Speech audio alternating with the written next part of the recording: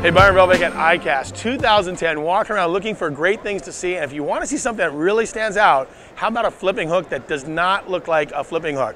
This, in anybody's tackle box, would look like a thin wire hook. It's actually ZO-Wire. What ZO-Wire is, it's a wire that looks real thin, feels real thin, heavy gauge. It's a flipping hook. This is a flipping hook made by Owner.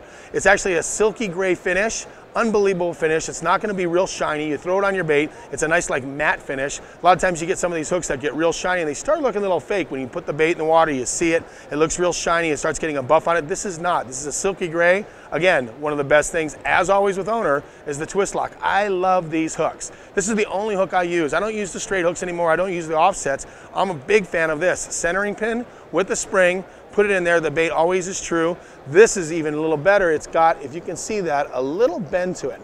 That little bend makes the bait sit straight. So now it's a straight center pin hook. And this, believe it or not, by owner, is a new flipping hook. And guys aren't gonna think so. Thin wire and all that, uh-uh. Try flipping with this. I'm going to.